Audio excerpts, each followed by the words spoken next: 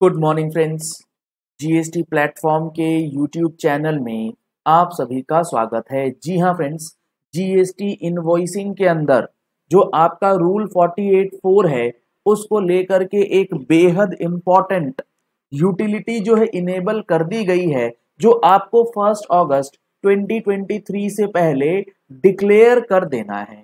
क्या है ये यूटिलिटी और क्या है इसका पर्पस आप लोगों के लिए बेहद इंपॉर्टेंट इंफॉर्मेशन इस वीडियो में देने जा रहे हैं। जैसा कि आप सबको पता है, एक अगस्त 2023 से ई इनवॉइसिंग का जो पॉलिसी है, जो रूल है, वो ऐसे टैक्स पेयर जिनका टर्नओवर पाँच करोड़ रुपए से ज़्यादा था, किसी भी फाइनेंशियल ईयर में सत्रह अठारह से लेकर के बाईस तेईस के अंदर उनके लिए लागू कर दिया जाएगा। लेकिन ई इनवॉइसिंग को हर किसी के लिए एप्लीकेबल ना करते हुए कुछ एग्जेम्पन जो हैं, वो दी गई हैं इन टर्म्स ऑफ़ रूल 48 सब रूल 4 तो अब उस एग्जेम्पन को क्लेम करने के लिए डिक्लेरेशन जो है, वो अब इनेबल कर दिया गया है और इसका प्रोसेस जीएसटी पोर्टल पे ऑलरेडी अवेलेबल करा दिया गया है। यहाँ पर आप देख पा रहे हैं ई इनवॉइस एग्जामेशन डिक्लेरेशन ये किस पोर्टल पे मिलेगा? इसके लिए आपको जीएसटी का ई इनवॉइस पोर्टल जो है, वो लॉगिन कर लेना है और ई इनवॉइस पोर्टल के डैशबोर्ड पे आपको ई इनवॉइस एग्जामेशन डिक्लेरेशन दिया जाएगा इन टर्म्स ऑफ़ रूल 48 सब रूल 4 क्या है ये रूल 48 सब रूल 4 एक बार फटाफट से देखते हैं, फिर आपको ये जो डिक्लेरेशन फ़ाइल करनी है, इसके बारे में भी इंफॉर्मेशन दिया जाएगा। यहाँ पर आप देख रहे हैं रूल 48 जिसके अंदर सब रूल 4 बात करता है कि आपको इलेक्ट्रॉनिक इनवॉइस ई इनवॉइस बनाना है in the prescribed format I N V zero one के अंदर जो पर्टिकुलर दिए गए, उसको ध्यान में रख के। इसका एक प्रोवाइजो है, जो ये कहता है कि कमिश्नर में on the recommendation of the council by notification exempt a person or a class of registered person from issuance of the invoice under rule 48.4 48.4 के अंदर एग्जामेशन दिया जा सकता है अगर नोटिफिकेशन इशू करके ये कहा जाए। और इसके अंदर काफ़ी सारे लोगों को एग्जामेशन ऑलरेडी दी गई है। और इन सारे प्रोविजंस की जानकारी आपको हमारे जीएसटी प्रैक्टिकल फुल कोर्स के अंदर ऑलरेडी काफ़ी डिटेल्ड में बताया है, जिसमें हम लोगों ने GST registration GST invoicing GST return filing appeal filing GST refund filing GST के अंदर पेनल्टीज किस तरीके से लगाई जाती हैं? ई वे बिल के क्या रूल्स हैं? रिफंड के क्या रूल्स हैं? ये सारा कवरेज आपको दिया गया है। अगर आप इस कोर्स को एनरोल कराना चाहते हैं तो आप हमारा GST platform mobile application play store से डाउनलोड कर सकते हैं। लिंक आपको वीडियो के डिस्क्रिप्शन बॉक्स में और पिन कमेंट में भी दिए गए हैं।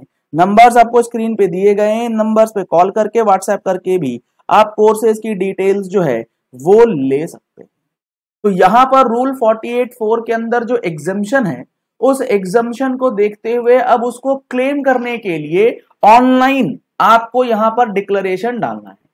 यहाँ अगर आप देखेंगे तो यहाँ पर कैटेगरीज ऑफ़ सप्लायर्स हैं, जो एग्जेम्प्टेड हैं फॉर इनवॉइसिंग यानी कि ये सप्लायर्स हैं। अगर ये सप्लाई करते हैं तो आपको ई इनवॉइस नहीं करना। पहला कौन सा है?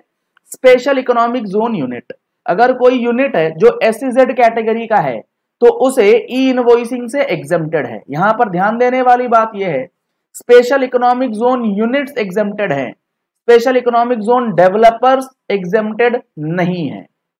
दूसरा इंश्योरर जो इंश्योरेंस कंपनीज़ होती हैं, उनको भी ई इनवॉइसिंग करने की ज़रूरत नहीं है और इसके पीछे का लॉजिक जब हम लोगों ने प्रैक्टिकल कोर्स के अंदर एग्जामेशन को डिस्कस किया था तो वहाँ मैंने कई सारी बातें आप लोगों के साथ डिस्कस करी थी कि ये एग्जामेशन क्यों दिया गया और इसमें क्या आपको कोई भी परेशानी आती है गवर्नमेंट को अगर ये ई इनवॉइसिंग नहीं भी करते तो वो सारे कॉन्सेप्ट को ध्यान में रखते हुए एग्जामेशन दिए गए।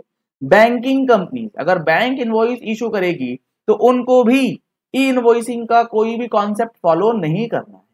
फाइनेंशियल इंस्टीट्यूशंस जो होते हैं अदर देन बैंकिंग कंपनीज़ उनको भी ई इनवॉइसेस से एग्जामेटेड दिया गया है। नॉन बैंकिंग फाइनेंशियल कंपनीज़ जो एनबीएफसी होती हैं, वो भी ई इनवॉइसिंग नहीं करेंगे, चलेगा।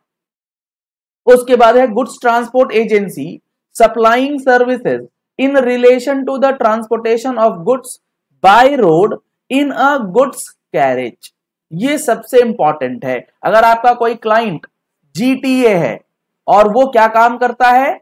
ट्रांसपोर्टेशन ऑफ़ गुड्स करता है by road in a goods carriage.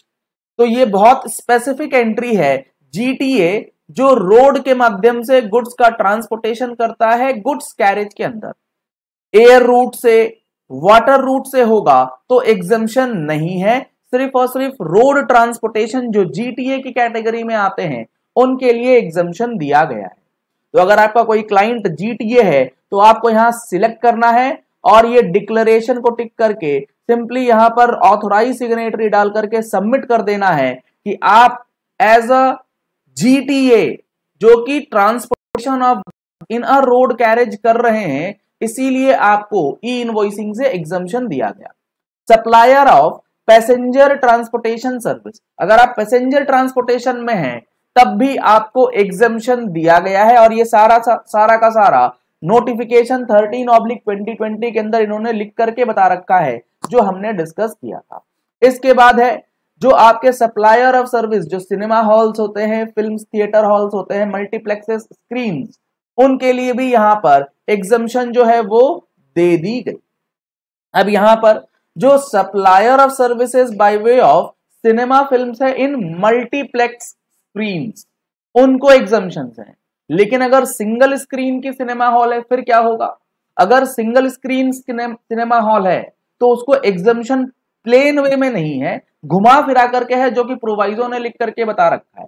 अगर वो डिक्लेयर करता है कि हमें एग्जामेशन चाहिए, वो नहीं कर रहे हैं मैनुअल इनवॉइसिंग तो ही आपका ये एग्जामेशन जो है, वो प्रोवाइजो के अंदर है। एक सिंपल टर्म्स में मल्टीप्लेक्सेस के लिए एग्जामेशन है, क्योंकि वहाँ पर टिकटिंग ऑनलाइन होती है।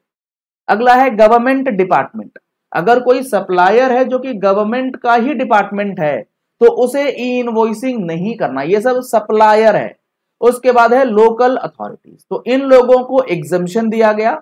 एक बात समझ लीजिएगा, अगर आप एज अ सप्लायर इनमें से किसी को सप्लाई करते हैं तो आपके ऊपर एग्जामेशन है या नहीं, वो चीज़ आपको देखनी होगी।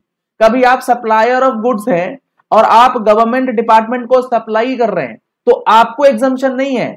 गवर्नमेंट डिपार्टमेंट कोई चीज़ सप्लाई करती है, क्योंकि ये सप्लायर के पॉइंट ऑफ़ व्यू से है तो इस चीज़ में गड़बड़ नहीं होनी चाहिए। आगे डिक्लेरेशन में इन्होंने दिया कि आपके नॉलेज के अंदर ये डिक्लेरेशन जा रही है, और यहाँ पर आई और we shall be severely responsible for violation of CGST rules अगर आपने रूल्स का वायोलेशन किया तो पेनल प्रोविज़न वगैरह जो है वो लगाए जा सकते हैं। अब यहाँ पर एक और इंपॉर्टेंट बात जो आपको ध्यान में रखनी है कि इन एग्जामेशन को किस तरीके से एंटरप्रेट करेंगे। मान लेते हैं आपका क्लाइंट है जीटीए वो एज अ एंटिटी जीटीए का काम कर रहा है। वो गुड्स ट्रांसपोर्ट एजेंसी के बिज़नेस में है और उसके साथ साथ छोटे मोटे कोई अदर काम करता है।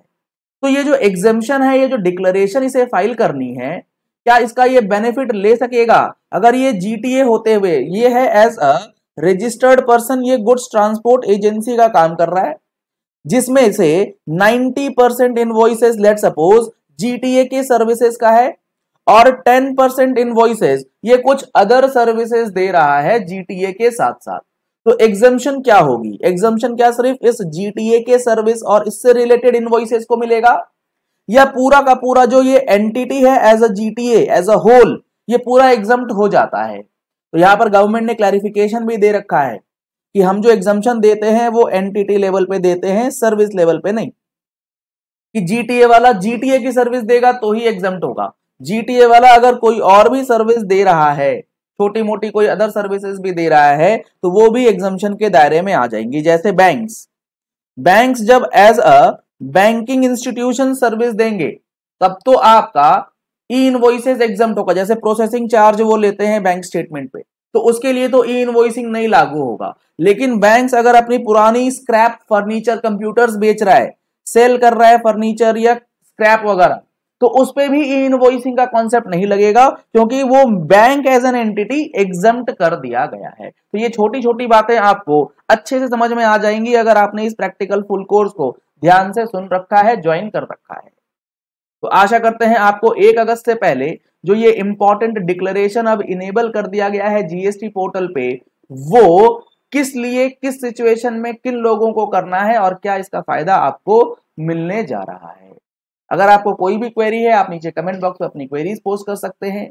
आप हमारे यूट्यूब चैनल को सब्सक्राइब कर सकते हैं। नीचे दिया गया रेड कलर का सब्सक्राइब बटन प्रेस करके, साथ में जो बेल आइकन है, उसे दबा लीजिएगा ताकि वीडियोस की नोटिफिकेशन आप तक रेगुलरली पहुँचती रहें।